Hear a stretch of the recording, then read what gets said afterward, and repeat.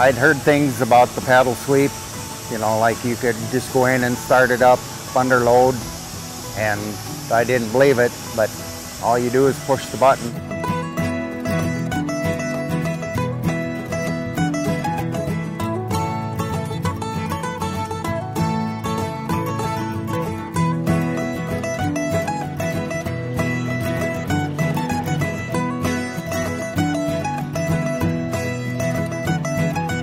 For safety reasons, it's a way better deal. You know, nobody has to go in the bin.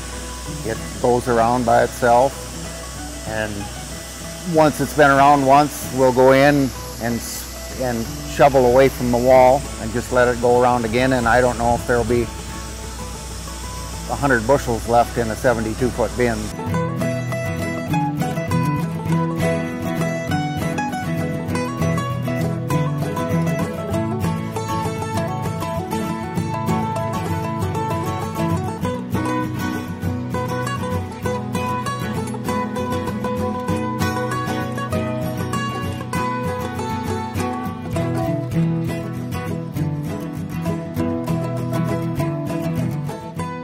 I'd tell them there's no question, put in the paddle sweep, so don't even think twice.